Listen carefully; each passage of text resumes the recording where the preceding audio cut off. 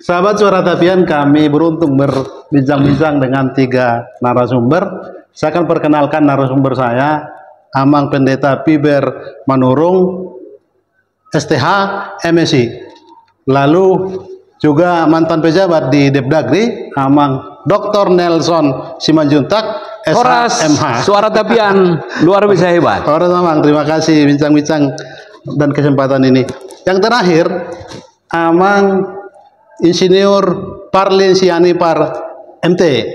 Beliau ini orang tua yang sangat peduli dengan kampung halaman dan sering pulang kampung di balik ke sana.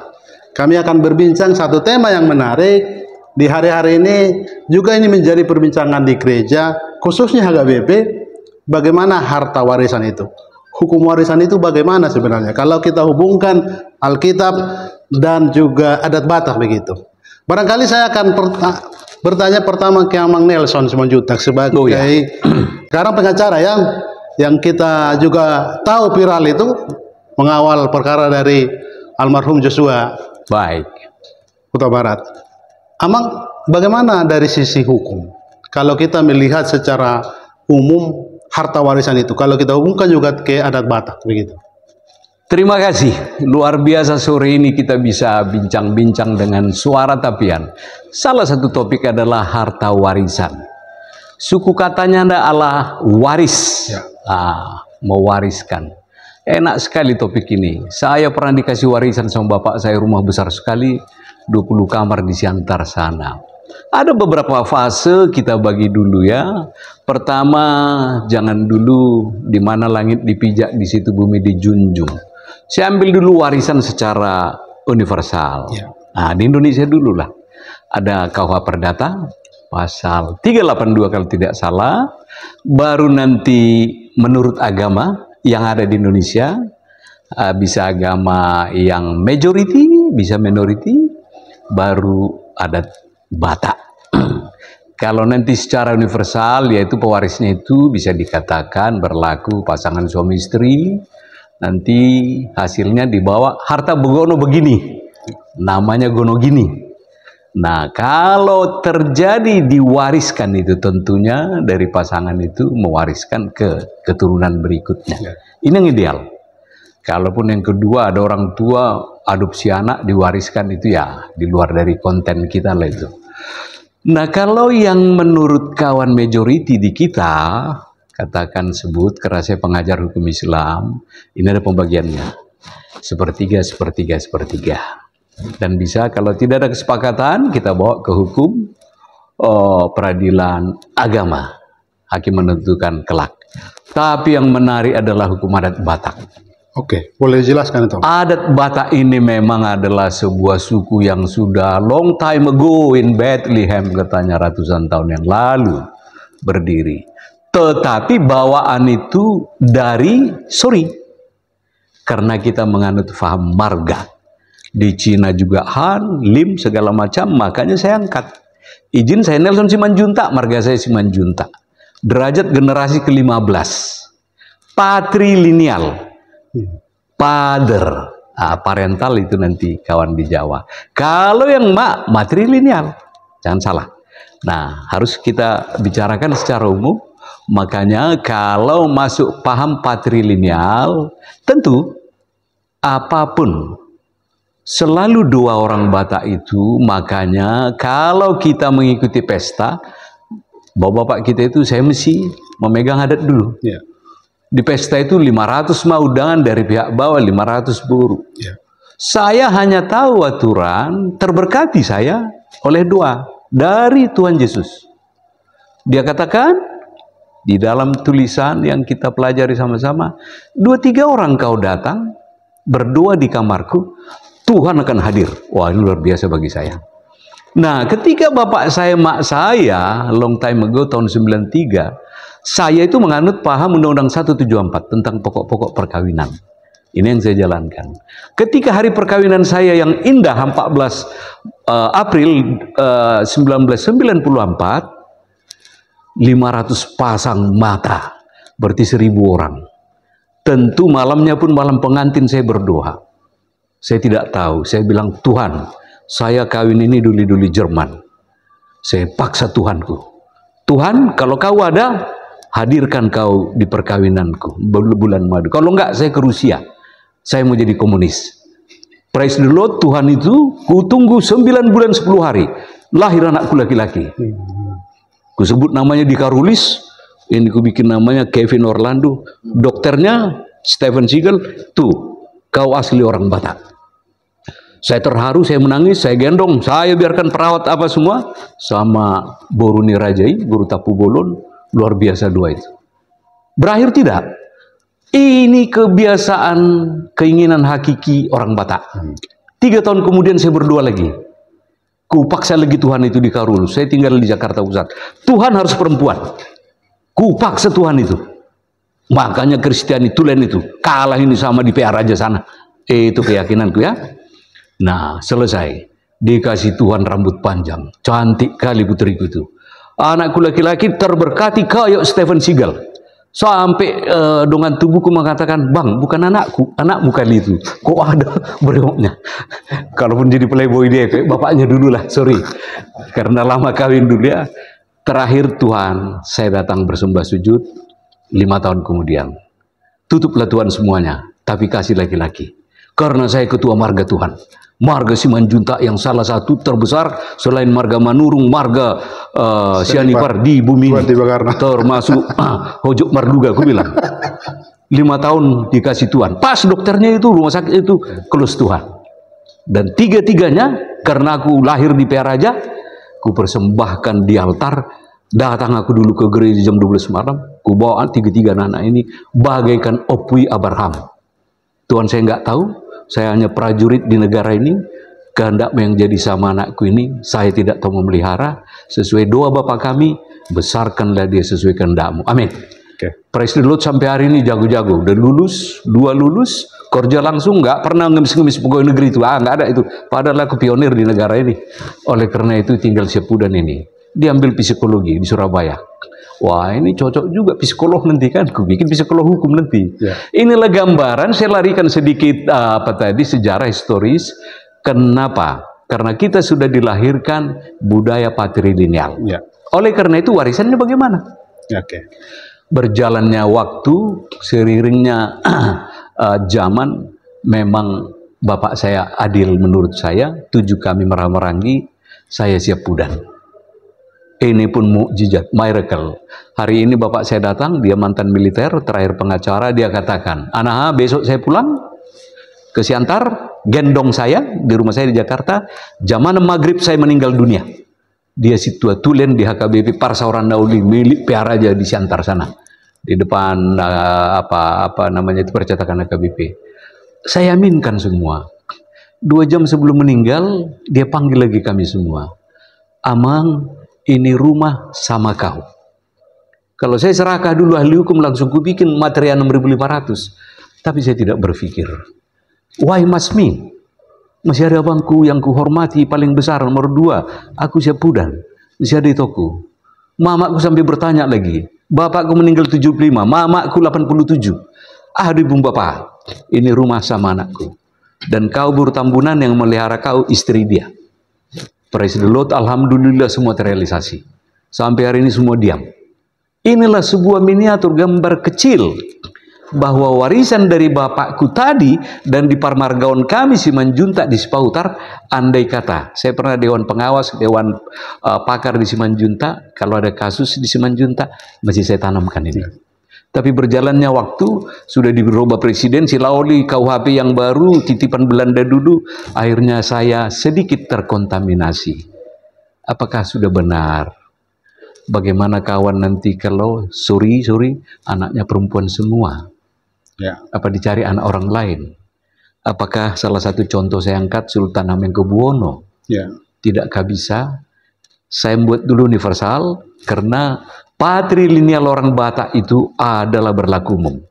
Kenapa enggak? Saya ambil sedikit parental hmm. ke orang tuan, bukan parent, bukan motherland di Minangkabau. Oh. Karena saya ajarkan juga ini di sejarah kebangsaan semester 1 dulu di okay. tahun 91. Oleh karena itu tidak larut aye gadang aye baranjak di mana kapan erosi, emosi Orang tua itu nggak senang lihat anaknya dirubahnya sama gurunya, tapi ada lagi satu lagi alat, ada akte, hmm. ada pengakuan negara. Okay. Negara di atas segalanya. Dan kalau memang mereka seperti yang saya lakukan, agamis yang langsung bisa ke Tuhan, ke manusia, silahkan. Tetapi di dunia perdata nanti atau KUHP harus ada minimal dua alat bukti yang menyaksikan perubahan dari hukum waris Batak tadi saya pegang itu buku ada seorang profesor Simanjunta Bapak Udaku, si B Simanjunta, di situ juga masih mengenal paham uh, patrilineal tadi. Dari situ saya muncul pertanyaan Amang Simanjunta. Kalau memang akte tadi itu kan hak negara di situ, iya. kuasa negara di sana. Jadi pertanyaannya kalau ada kakak beradik atau anggota keluarga yang bertengkar karena hak waris, apakah harus diselesaikan secara hukum negara begitu? Baik. Sebelum lari kita, semua di Undang-Undang 14 tahun 70 ya. tentang peradilan negara ini, pemerintah adalah segalanya. Kata dasarnya perintah, masih ada minor kekerabatan. Keluarga kecil dulu. Saya angkat dulu. Hmm. Simanjuntak, Marbun. Panggil dulu yang selingkup itu. Hmm. Tidak bisa lagi panggil Parsahu tahun hmm. atau Parmargaon yang paling besar. Seperti saya enak karena saya tahu di Jakarta Raya ini uh, uh, parhata kami uh, berbagi jambar atau apa supaya didalilkan di situ. Sejarah hmm. semua diingatkan, tetapi biasanya pasti ini berat sebelah. Bahasa hukumnya di mana letak keadilan itu? Di ketidakadilan. pasti itu. Ah, marsoring-soring kita, bapakku, mamaku, sebenarnya dia ini uh, hukumannya diskriminasi. Dia paling mencintai anak pertama buah bajinya itu. Bahasa Latinnya, mamaku yang menetek pertama perawan untuk abangku. Aku sudah puri. Tetapi berjalannya waktu, Panapel Doren, Pan Vollenhoven, sudah membagi hukum adat di Indonesia 27 puak daerah. Salah satu Batak Nis, ada Sulawesi Nis dan sebagainya. Uh, Oktober tahun 28 juga ada Jong Batak, Jong Japa, Jong Hitan. Ah, jadi semua jong-jong di sini ya. kita harus akuin ini semua. Ada hukum itu yang lisan, ya. ada tertulis dan ada yang sudah di uh, buat oleh parlemen, DPRD, DPR. Inilah yang tertinggi. Tetapi kalau lari ke zaman Narubi, itu namanya teokrasi. Saya harus ungkapkan semua hukum-hukum ini. Kalau itu teokrasi, hukum Tuhan yang berlaku. Karena kita di mana langit dipijak, mesti hukum dunia, dan diperkejar lagi minornya, dunia bata, mesti dunia bata. Yang menjawab pertanyaan tadi, pengadilan negeri lah mengawali di mana penyelesaian persoalan warisan tadi. Dua, poin kedua, kalau yang diakui selalu uh, hukum agama bagi agama mayoritas. Bagi agama lain, Hindu dan sebagainya, peradilan negeri di kabupaten kota. Demikian. Satu lagi pertanyaan Pak Simanjutak sebelum ke Pendeta Manurung dan Mamang Siani nanti. Saya teringat dengan uh, tulisan Dr. Pergowen, seorang Belanda yang menulis hukum adat Batak. Dia menyebut di situ bahwa cukup sebenarnya penyelesaian masalah perkara apa pun di tanah Batak dengan hukum adat itu. Kemudian kita sudah berubah dan uh, era ini kan era modern, kita sudah ya. mengakui hukum negara. Bagaimana perpaduan hukum adat ini dengan hukum negara begitu? Ya. Apakah ya. uh, ini kan sepertinya sudah dihiraukan ini sekarang hukum adat ini begitu? Ya, menarik sekali nih. Sayang si Profesor Mutadi nggak ketemu kami. Kalau 17 Agustus datang dia, saya jelaskan materi terakhir di dalam ilmu hukum. Jadi begini, sebelum kita ke makro, mikro dulu. Ya. Ah, yang kecil dulu. Kenapa harus langsung yang terbesar? Ya. Mesti ada terkecil. Jangan lupa, hukum di muka bumi ini diawali dengan kebiasaan. Dari kebiasaan ada lingkup itu, lahir anak manusia, lahirlah adat. Adat. Uh, marsuri suri uhum, marsiada pari, uh, marulaun. Ya. Sorry kalau saya lupa. Intinya, adat bisa menyelesaikan. Berkembangnya manusia, sekarang ada hukum adat. Okay. Di Undang-Undang Dasar 45 tertulis, Hanya yang belum lahir ini Kermahudatara, grup aman sedang menggugat ini. Negara lalai membuat hukum adat. Jangan hanya ma adat mayoritas. Sampai hari ini saya pernah dengar itu dari Pak Sianipar sama dari Pak Dr. HP Panggabean. Ini ahli apa mantan hakim agung. Di situ kerukunan masyarakat hukum adat. Karena Indonesia sangat luas sekali, negara menganggap tidak masuk sanggup lagi uangnya di APBN, APBD, ini kesulitannya. Tetapi jangan dulu. Kita buat dulu yang minornya, um, teori saya namanya benchmarking. Kita bikin aja dulu dia puak mana yang gampang, puak Batak. Bataknya mana dulu? Lebih sulitkah Batak Toba, Batak apa, Batak Karo, Batak mana? Ambil dulu satu. Baru nanti regional, Papua. Di sana aku uh, menyelesaikan adat itu sebelum mereka main panah bakar batu. Ini enaknya.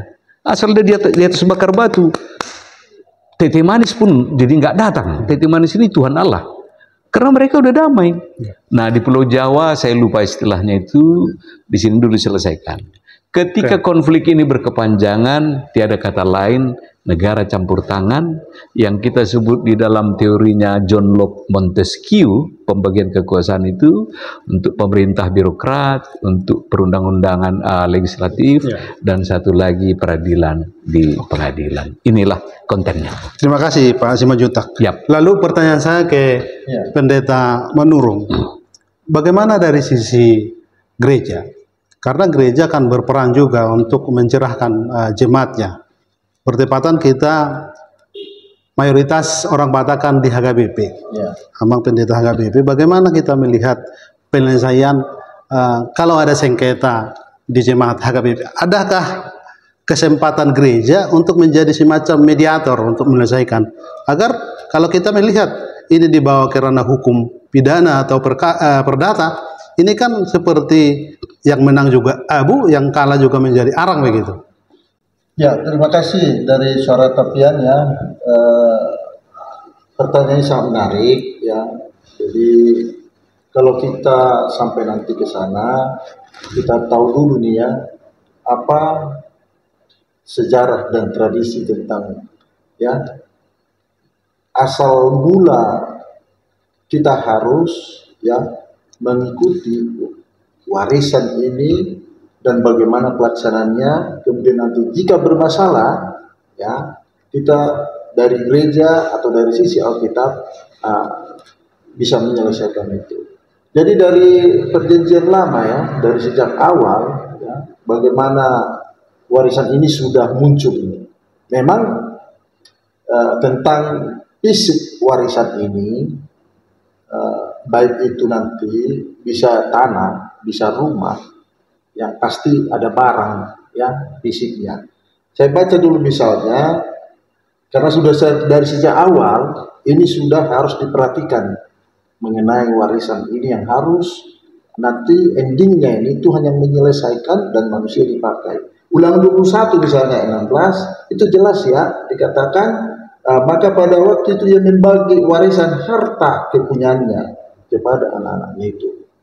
Nah, dari ulangan ya di sana sudah jelas digambarkan ini harta warisan ini ya terkait juga nanti kepada anggota keluarga. Nah, kemudian dari Amsal 19 ayat uh, eh, 14 dikatakan rumah dan harta adalah warisan nenek moyang. Rumah dan harta warisan nenek moyang.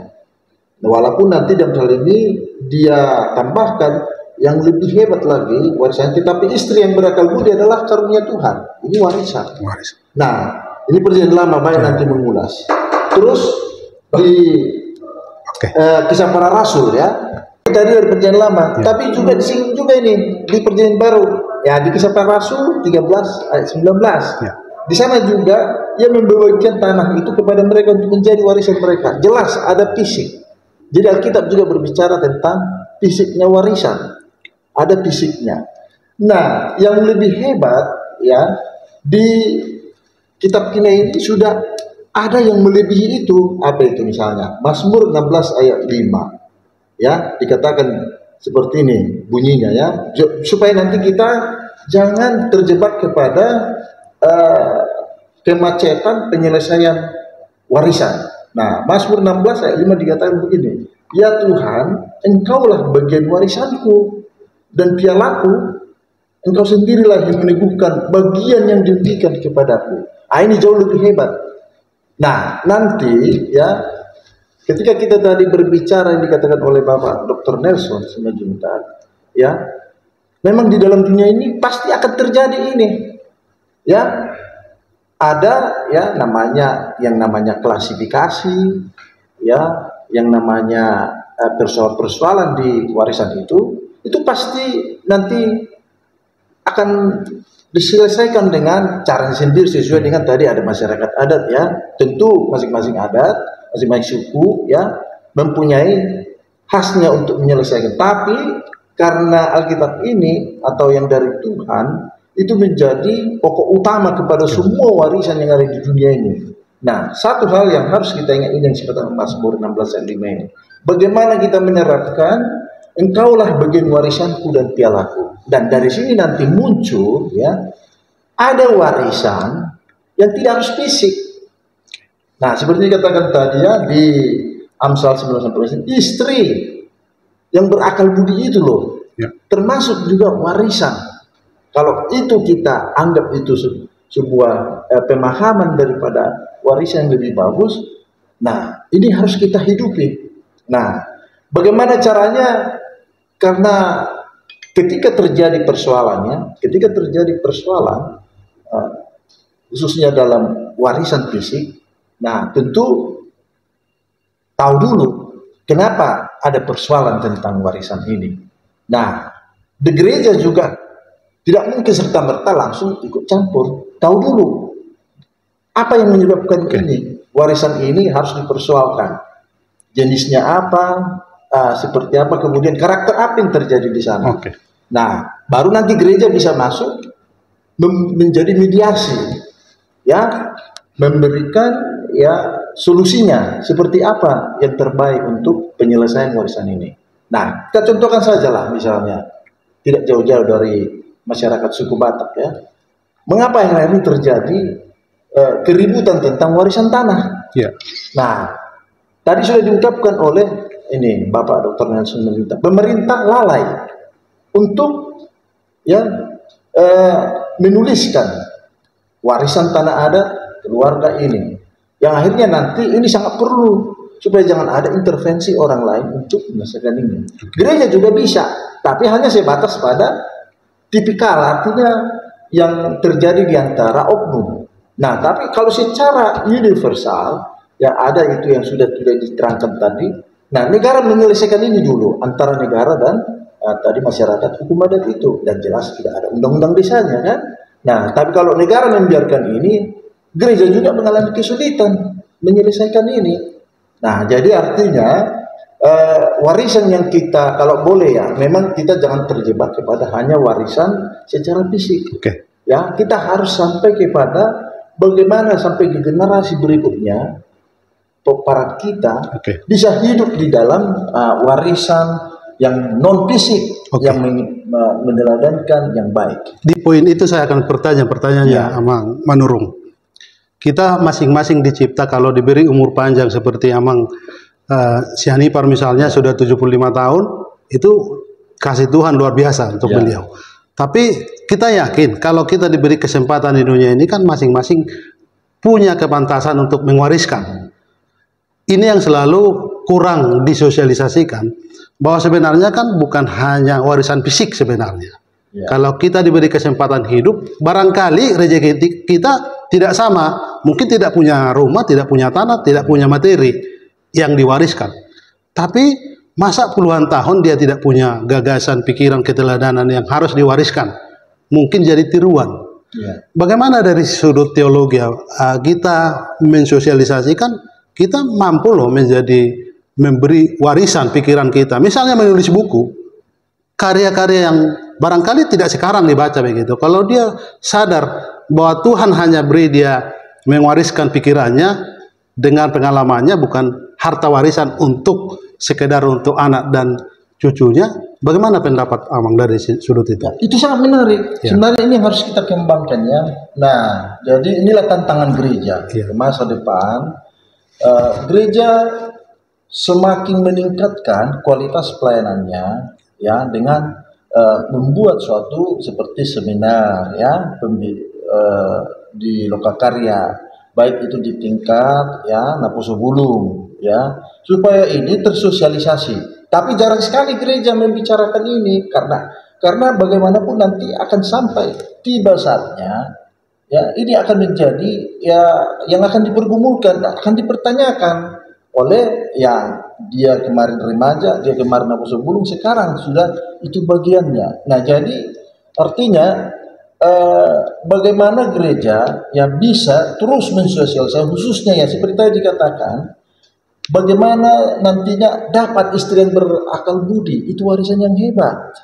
Ya kemudian nanti seperti yang di- terjadi kepada bangsa Israel ya. Ya. kepada bangsa Israel warisan yang paling hebat adalah sampai kepada ketaatan kepada hukum Tuhan nah firman Tuhan inilah nanti menjadi dasar ya menjadi teladan Oke. nah ini nanti membuat dia ah, seperti Salomo Ya. ketika terjadi ada persoalan dia bukan minta harta tapi apa yang dimintakan Kebiasaan.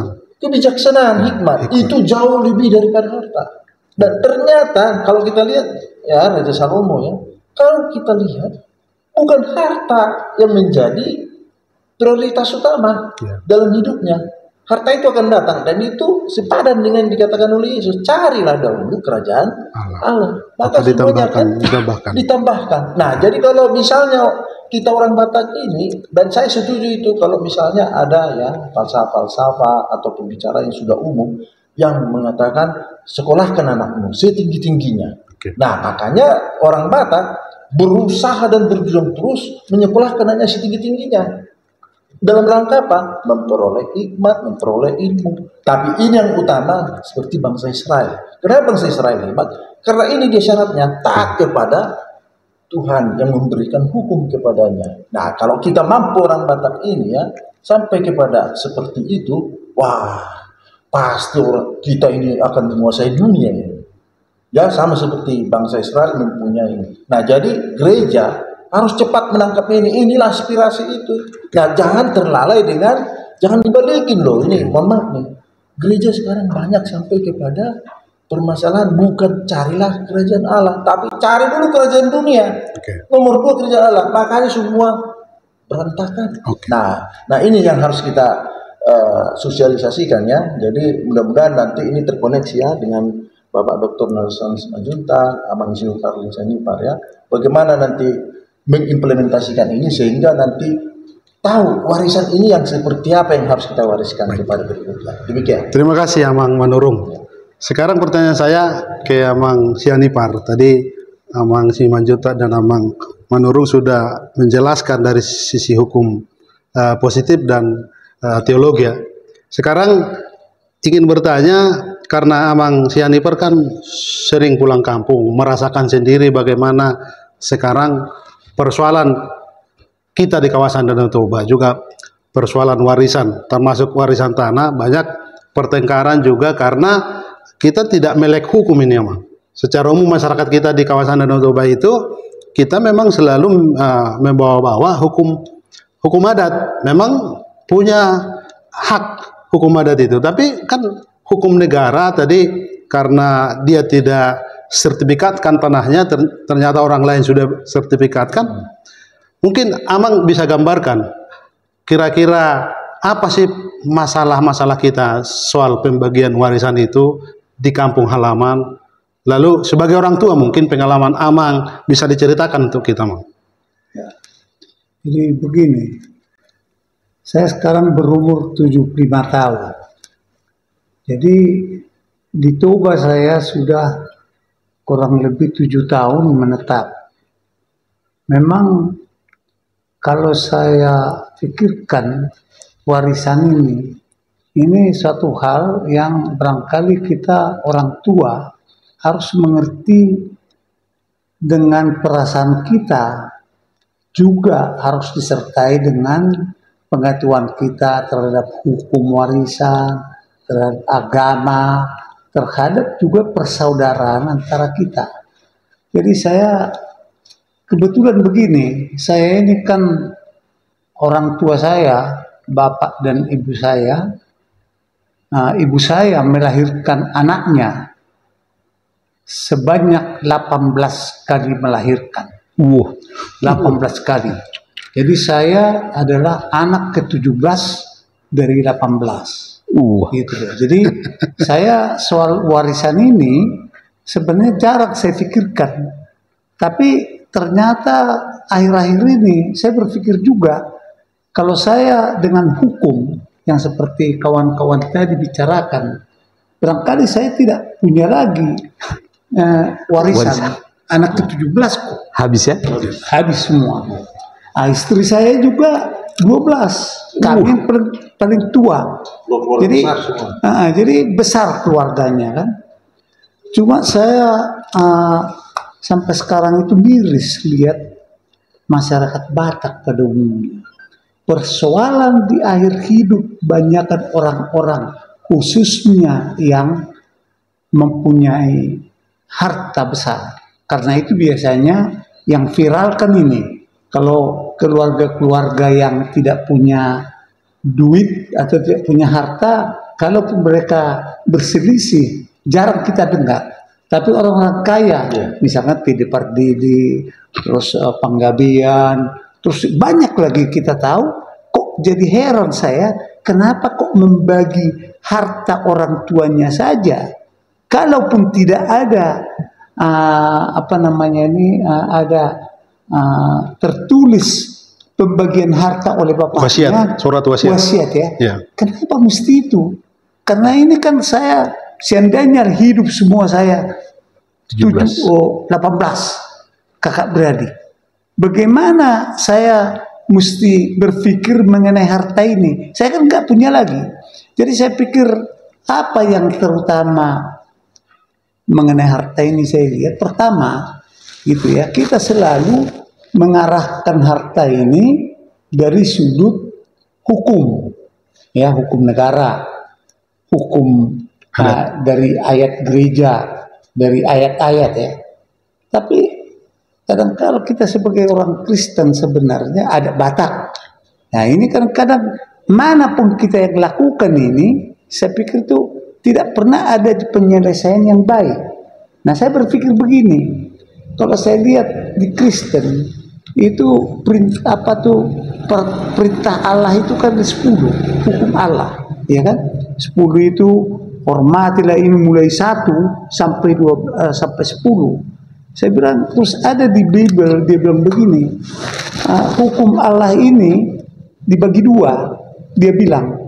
Sebenarnya dua saja artinya ini. Pertama apa katanya sayangilah sesamamu manusia seperti dirimu sendiri. Satu. Terus sayangilah Tuhan Allahmu dengan segenap hatimu dan segenap pikiranmu.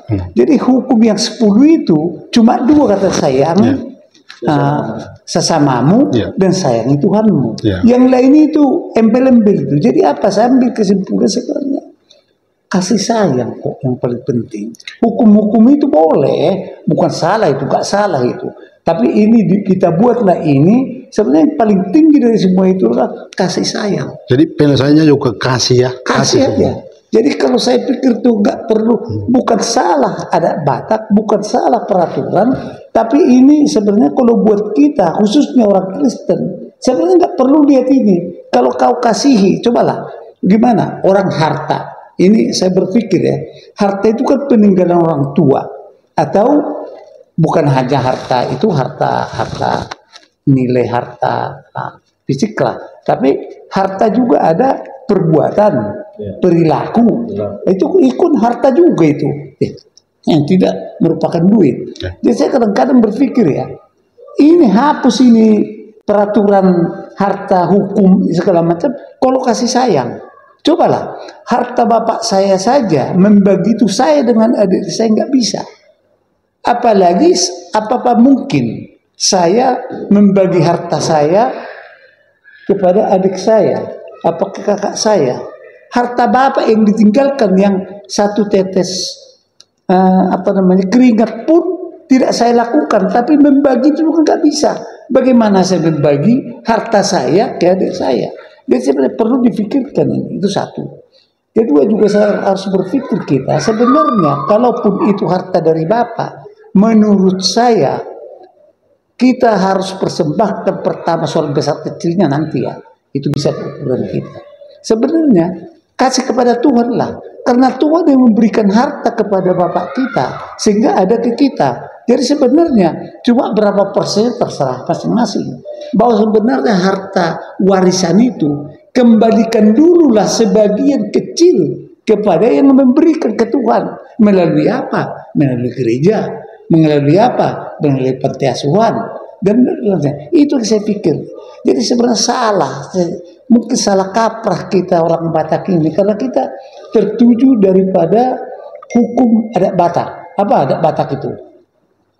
Uh, tanah, rumah itu bagian daripada laki-laki.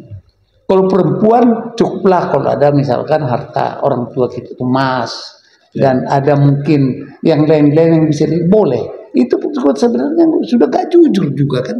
Kenapa saya lebih besar laki-laki daripada perempuan? Ya kan? Kan gak sebenarnya menurut saya ya. bukan salah. Saya saya itu bukan menyalahkan hukum. Memang lebih cenderung saya hukum hukum hukum negara. Hukum negara itu kan laki-laki perempuan sama saja. Ya. 10 bagi 10 gitu ya. kan.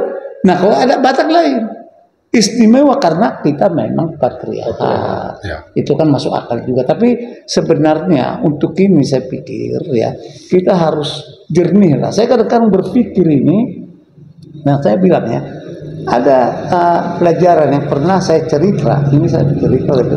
Abang saya ada pendeta. Dia mempunyai harta rumah cuma.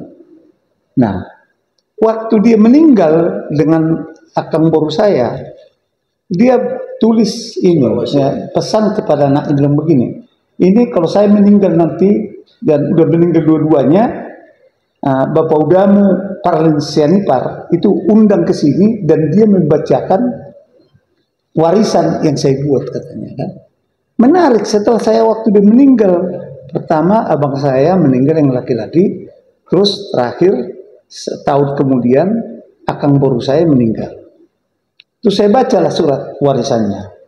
Harta dia karena pendeta cuma satu. Apa itu? Rumah. Nah, dia bikin di surat wasiatnya. Ya. Anak-anakku semua untuk supaya apa warisan saya adalah rumah. Jual rumah ini ya. di garis bawahi. Ya. Satu, kasih kepada Sintua Siregar 100 juta. Bertanya, Siregar ini siapa? Oh rupanya karena dia pendeta yang kasih tanah dulu si, ke dia. Siregar. Siregar ini. Hmm. Wah, oh iya. Nah, terus marga Panjaitan katanya 10 juta. Terus tanya siapa marga Panjaitan situ ini? Oh, rupanya dengan ab, abang saya dulu mengerjakan membangun rumah itu dibaginya itu. Hmm. Terus ke ketiga, ya, telah. berikan kepada ya, ya, telah Nah, resort ini oh, no, no, HKBP. Resort ini, resort ini ada empat resort dikasih. Ya. A 25 juta. Hmm. 100 juta kan. Ya. Nah, terus di bawahnya bilang begini, yang paling hebat itu bilang karena yang men, yang hidup saya itu waktu itu waktu dia meninggal yang hidup nggak semua lagi. Ya. Terus berikutnya kasih ke adik saya Parlinsianita 50 juta besar juga. Nah, terus kasih sama Anggi Boru saya katanya kan 50 juta. Ada istri abang saya masih hidup. Hmm. Terus kasih kepada Eda saya yang empat orang hidup ah 10, 10 juta. Ya kan? Terus garis lagi bawahnya sisa anak saya laki-laki empat kasih tiap anak seperlima. Seperlima. Ya kan? Jadi tinggal lagi seperlima lagi kan lima per lima kan jadinya. Ya. Jadi ada empat empat per lima. Ya. Sisa seperlima. Ya. Ada anak saya perempuan dua. Ya. Bagilah itu yang seperlima tadi, jadi sepersepuluh. Ya. Dia pun lucu juga sebagai pendeta. Lebih besar untuk laki-laki daripada untuk anaknya. Ya. Tapi itulah yang saya dapat warisan dari. Saya berpikir akhirnya dengan sekarang itu, saya jadi ragu. Saya udah umur 75 tahun. Bagaimana kalau saya? Hmm. Apa yang saya lakukan? Eh, Ini jadi problem buat saya sehingga suatu saat saya iseng begini. Kalau saya ini kan yang kompleks ini, Iya. udah saya saya bangun anak saya empat kan satu orang sudah bangun rumah. Ya. Saya udah kasih nih. Nah saya pikir sama laki-laki perempuan sama saya, saya pikir. Jadi itulah saya pikir tuh bagaimana ya. Terus saya berpikir ini yang sisanya ada kontrakan di sini kan. Iya. Cuma pernah saya bilang sama anak saya, eh Ron, kalau papi mati dengan mami mati, berapa persen lah kau bisa kasih ini ke gereja atau ke panti asuhan? Kontrakan ini bisa kau kasih tiga atau empat empat rumah untuk, untuk gereja. Saya udah berpikir begitu. Jadi sampai sekarang saya gelisah. Jadi saya memang berdoa kepada Tuhan dan ini juga sebenarnya perlu memang kita terutama orang-orang tua yang punya warisan. Bagaimanalah kita sebenarnya warisan itu tidak perlu hanya ke kita, ke saudara kita, ke orang lain juga perlu. Karena itu kan dari Tuhan, bukan dari saya ciptakan sendiri. Kalau ada pemikiran kita begitu, saya yakin orang Batak itu tidak akan berantamlah soal warisan ini. Laki-laki saya. Dalam memang Sianipar. Jadi eh, dengan contoh-contoh tadi kita dapat pencerahan. Barangkali eh, ini semacam resume dari diskusi kita, bincang-bincang kita, Mang uh, Simanjuntak.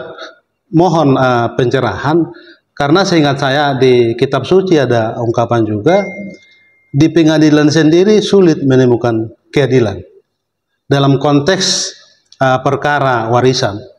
Bagaimana kita eh, mm, menyampaikan kepada masyarakat khususnya Batak, pikiran saya ini ya, tidak solusi terbaik juga ke pengadilan atau perkara hukum eh, positif negara di bawah-bawah untuk menyelesaikan perkara eh, warisan begitu. Barangkali apa yang Amang bisa jelaskan pencerahannya untuk kita? Baik, makasih untuk episode kedua ini menarik. Saya ikuti dulu alur pertanyaan. Pada Narubi, perjanjian lama tadi ya. Persoalan warisan mengemuka di situ. Ya. Nah, salah satu generasi kedua si Abel si Kain. Marsi Matean. Ya. Generasi kelima si itu eh, ingatkan saya Pak Pendeta ini halus tadi menerjemahkannya. Perebutan em, kacang merah. Oh, si. Yakub dan Esau. Esau. Wah ini luar biasa. Ya. Kasih lah dia udah lapar aku dulu. Dijual Selesai, dijual hak lah. warisan eh, Pada. Nerubin ya perjanjian lama Old Testament sampai kepada peperangan antar suku. Ya. Levi mana yang paling nomor satu. Baru saya simpulkan ini yang saya tertarik perjanjian baru. Wari Nabi Isa. Dibawa dia ke dulu tolong yang paling tinggi di Danau Toba ya. Di Bukit Nebo di apa sana di Israelnya dulu paling tinggi di dunia. Mount Everest. Hai si bulis, apa maumu? Ku kuariskan sama kau bahasa saya sekarang ya.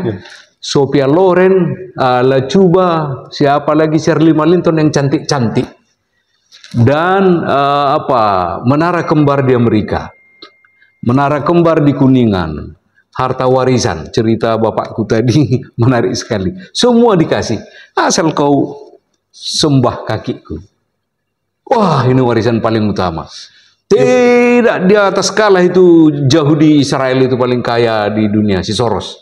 Kala itu Alibaba, kali eh, semua. Dia hanya bilang, ku kasih dunia ini sama kau. Bila perlu matahari, Mars, Pluto segala macam. Dia hanya bilang, bolis pergi kau. I am Alpha dan Omega. Saya penguasa bumi dan apa, harta. Dari bapakku aku adalah pewaris tunggal. Selesai. Pada Narubi pada Nebaru. Ternyata dari bapak-bapakku yang berdua ini orang Batak itu punya hikmat, bijak, wise, wisdom, hikmat tadi ya. Di episode pertama, saya putuskan patrilineal.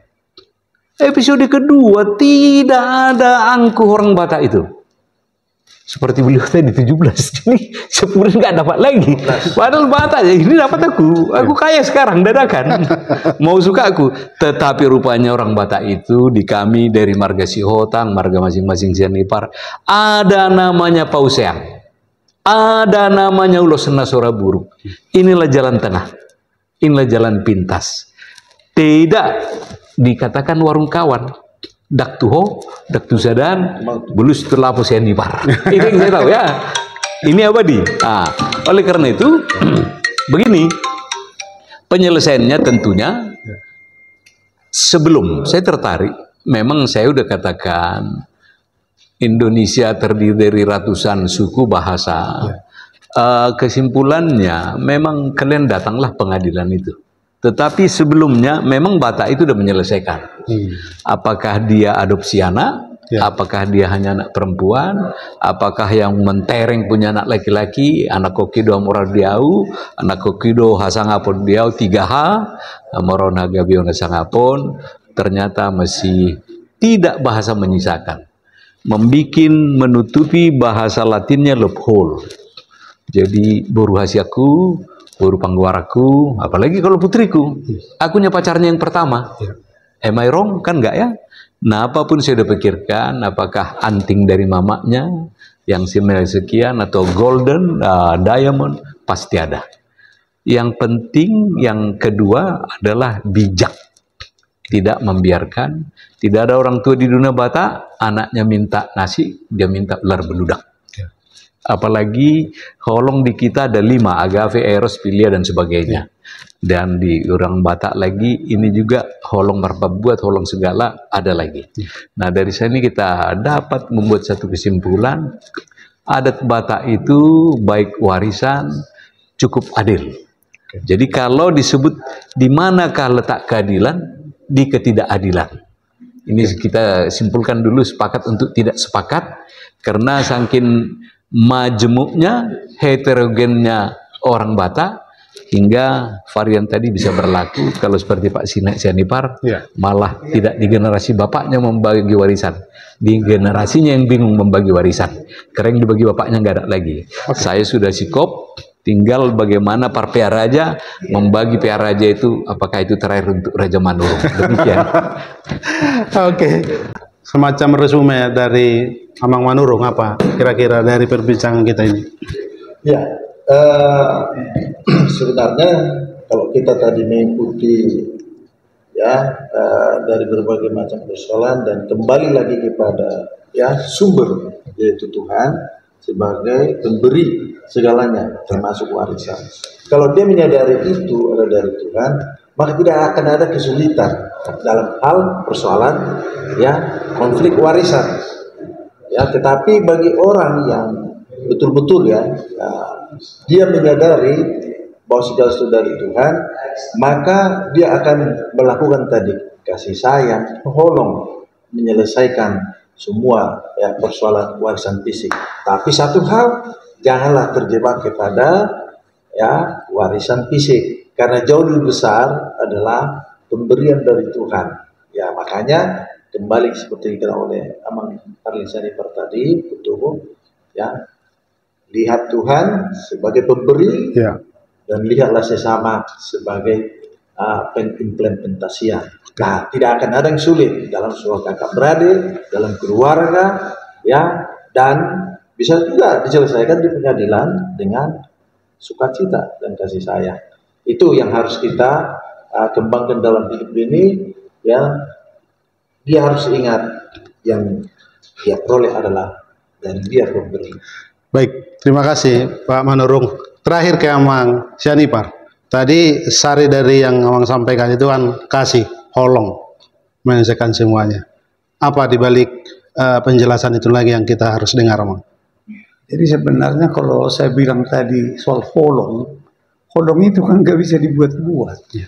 Itu nggak nggak ada ceritanya kita holong itu kalau holong itu dia latih. ada sebagai contoh saya bilang pernah saya kasih anak saya ada begini abang saya itu karena pendeta waktu dia pensiun sebenarnya saya tidak mau mencoba dia anak paling besar kan terus saya bilang Ron si Roni namanya paling besar "Ah, tolong servis mobil kita deh kebetulan saya waktu itu ada dua mobil Nah, servis dulu mobil kita yang satu itu Nah, terus nanti setelah kau udah servis, kau antar ke Surabaya, kasih ke bapak tua, gitu ya. Aku enggak, enggak, enggak, enggak, enggak menyangka ada pertanyaan dia yang aneh. Tapi aneh itu pertanyaan buat saya untung juga. Terus dia bilang begini, Pi, servis mobil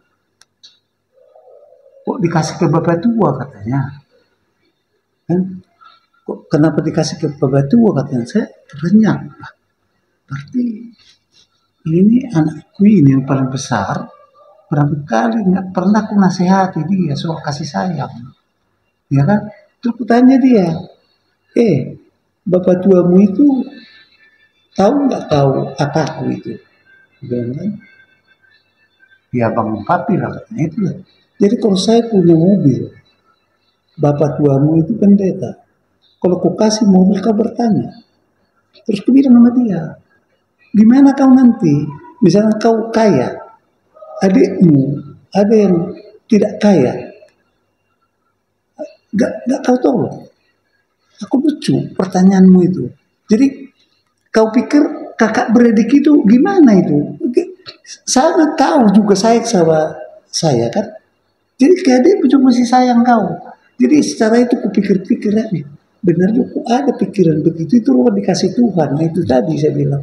Ini pun harus kita wariskan hal-hal begini ke anak kita. Bahwa dia itu kita mesti mungkin kita nggak sadar. Sebagai orang tua ya. Kita mencari nafkah kita kerja lupa kita menasehati anak kita. Karena Tuhan juga bilang begini diajari kita kan mengasihi orang kan yang dekatmu dulu Kan Tuhan, Tuhan Yesus kan begitu. Jangan kau mau sayang kepada orang sana, sedangkan adikmu sendiri, kakakmu sendiri, aku sayang, orang tuamu. Jadi ternyata memang sayang ini juga Tuhan ajari kita, bukan du, ada tata keramanya, ada adatnya. Ya. Yang dekatmu dulu, adikmu dulu, anakmu. Jadi makanya sebenarnya kita cuma sepotong kita tahu kalau warisan ke anak kita karena kita sayang dia itu. Tapi sebenarnya lupa kita. Ada adik kita. Ya. Adik saya kan perempuan ada. Ada mungkin yang miskin. Kenapa itu gak saya bantu? Kan bisa juga saya bagi-bagi sebenarnya. Jadi ini sebenarnya saya pikir ya. Tapi ya mungkin saya berpikir ke sana itu kali juga rada sinting juga barangkali ya. Karena berpikir yang aneh-aneh. Ini kan termasuk aneh itu ya. Tapi sebenarnya bukan aneh untuk Tuhan nggak nggak aneh itu. Ya. Memang diajari begitu. Makanya di dalam hukum di Kristen yang dibikin sepuluh hormatilah ini ini ini. Cuma dua dia bilang "Sa- kasihilah sesama manusia. Sebenarnya bukan cuma dia bilang anak, tapi ada juga di ayat lain dia bilang ya yang dekat kau dulu lah, baru yang lain gitu kan. Kayak kasihilah Tuhan Tuhan Allah. Dengan segenap Itulah kesimpulan apa kita soal Terima kasih Amang Sianipar. Demikian bincang-bincang kami sahabat suara tapian. Mau lihat ya?